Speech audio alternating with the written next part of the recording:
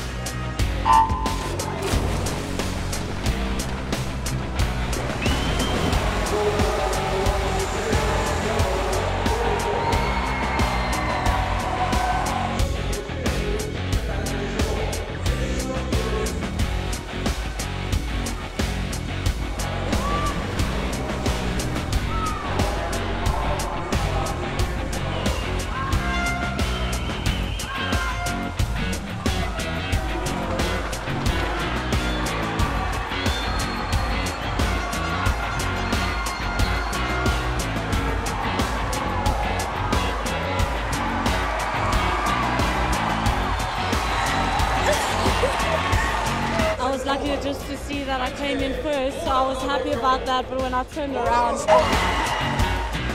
I just couldn't believe it.